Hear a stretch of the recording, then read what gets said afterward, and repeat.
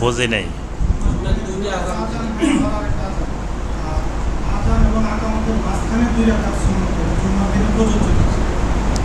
আলহামদুলিল্লাহ, জুমার দিনে দুইটা আজান কেন? এটার উত্তর হলো, জুমার দিনে নবিসামের সময় একটাই আজান হতো তো এখনও জুমার আজান একটাই, মূলত জুমার আজান একটাই। আর একটা জুমার আজান না, ওইটা জুমার প্রস্তুতির মূলক আজান। ওইটা হলো জুমার সলাতের জন্য প্রস্তুতি নেওয়ার জন্য আজান। ওসমান রাদি আল্লাহ তালুর খেলাপথকালে যখন দেখা গেল যে জুমার আজান হইলে, জুমার আজানের সাথে সাথে খোতবা শুরু হতো তো অনেক সাহাবি বা অনেক মুসলিম তখনও এসে পৌঁছতে পারতেন না খোদবা শুরু হয়ে যেত।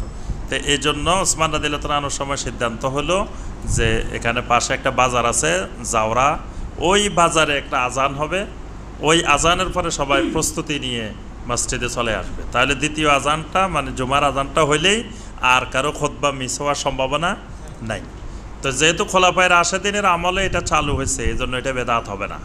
কারণ নবিসাম আলাইকুম বিসুন্নাতি ওয়াসুন্নাতিল খোলাফা ইর রাশেদিন আল মাহাদিগিন আমার সুন্নত এবং খোলাফায় রাশেদিনের সুন্নত।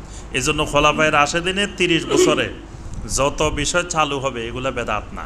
এগুলোও সুন্না তো এই জন্য যেহেতু জুমার ওই ওই আজানটাও খোলাফায় রাশেদিনের সময় চালু হয়েছে এই জন্য এটাও বেদাত না, এটা সুন্না তবে আমরা কি করছি, আমরা আবার এখানে কিছু উল্টাপাল্টা করে ফেলছি। দুইটা আজানের, প্রথম আজানটা স্বাভাবিক আজানের মতো মসজিদে হবে না। সেটা সাহাবাইকেরাম দিতেন বাজারে বা দূরে। আর আমরা এখন একেবারে ওই অন্যান্য আজান যেখানে দিই সেম ওই আজানও একই জায়গায় একইভাবে দিয়ে থাকি। কিন্তু ওই আজানটা প্রস্তুতিমূলক আজান হিসাবে সেটাকে আপনার ভিন্নতর করা বা সেটা বাহিরে দেওয়া বা যে, অর্থাৎ মানুষের প্রস্তুতির জন্য। আরেকটা হলো আমরা দুইটা আজান এক জোহরের ওয়াক্তের মধ্যে দিই। কিন্তু একটা হবে ওয়াক্তের আগে আর একটা হবে ওয়াক্তের পরে। এজন্য দেখেন মক্কা মদিনাতে আপনার প্রথম আজানটা হয় ওয়াক্তের আধা ঘণ্টা আগে, তিরিশ মিনিট আগে।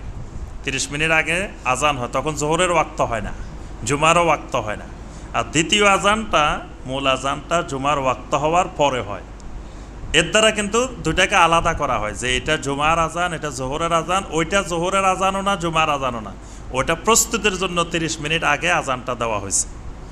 এই জন্য আমরা দুইটা আজান দিয়ে থাকি। আর আজান এবং একামতের মাঝখানে সলাৎ, এটা তো অবশ্যই প্রযোজ্য, এটা সব সলাতের ক্ষেত্রে প্রযোজ্য। আর আপনার জুমারও ঠিক আজান এবং একামত।